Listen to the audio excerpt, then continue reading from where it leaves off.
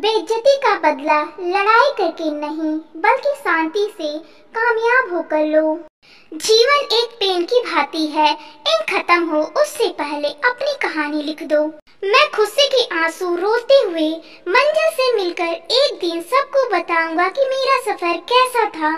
रात भर जग कर पढ़ना शुरू कर दो। क्योंकि कंधों पर सितारे तभी लगेंगे जब नींद अधूरी होगी। बहुत मुश्किल है उस शख्स को गिराना, जिसे चलना ही ठोकरों ने सिखाया हो।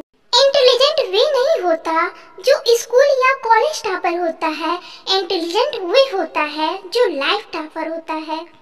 कुछ बड़ा करने जा रहे हो जल्दी हार मत मानना क्योंकि शुरुआत हमेशा सबसे कठिन होती है। जलो वहाँ जहाँ ज़रूरत हो, क्योंकि उजालों में चिरागों का कोई महत्व नहीं होता।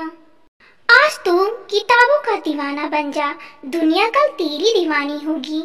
न मेहनत में कमी करूँगा, न हालातों पर रोऊँगा, देर से ही सही, पर अपनी मंजिल को ज़रूर पाऊँगा।